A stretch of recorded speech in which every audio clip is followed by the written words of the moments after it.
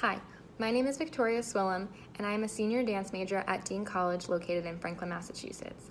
I'm here to talk to you today about Twyla Tharp's book titled The Creative Process. I will be discussing three chapters within her book um, and relating their themes to my life and my creative processes. The first chapter I'd like to talk about today is chapter two, which is titled Rituals.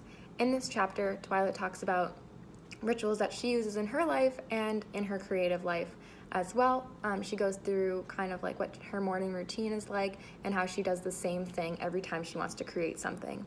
I can really relate this to my life because I'm a very ritual and habit orientation orientated person, um, and I really enjoy rituals. I like doing things the same way every time. I like like putting things in the same places that I had them. Um, and I find that me and Twyla are very similar on this aspect, and I've noticed this after reading that chapter specifically. The next chapter that I would like to talk about is chapter four, which is about memory.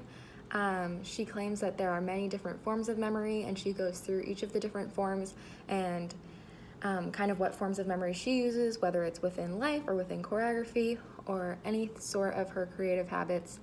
Um, and she also says that memory is a way of perceiving, um, so it's not necessarily things that may have actually happened, it's kind of your thoughts and your emotions while whatever event happened was happening, and that's kind of what forms your memory.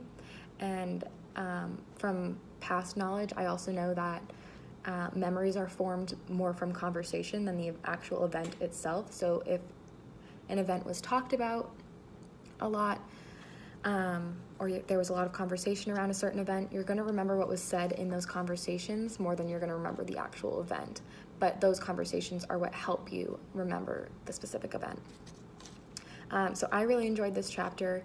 Um, I love learning about memory and how people remember things and stuff like that.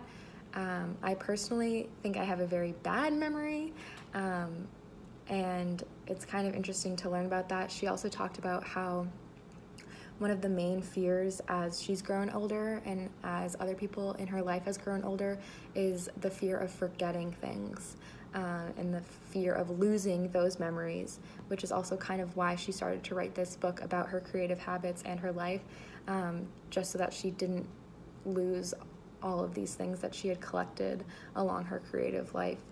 Um, and so you wanted to be able to share them with people.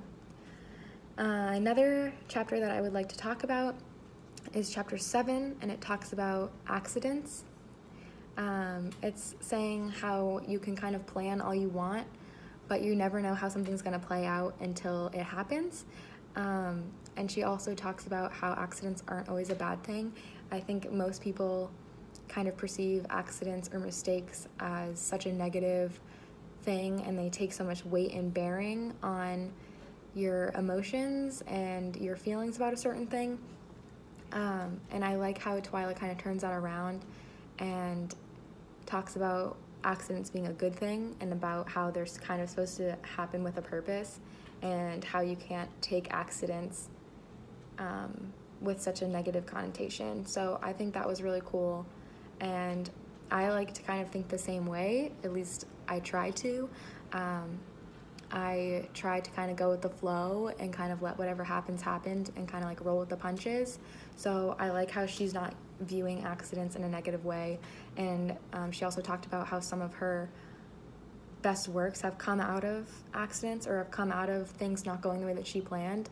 Um, going off of that, she also kind of talked about planning in general um, and how there's good ways to plan and there's bad ways to plan, and sometimes too much planning can be a bad thing.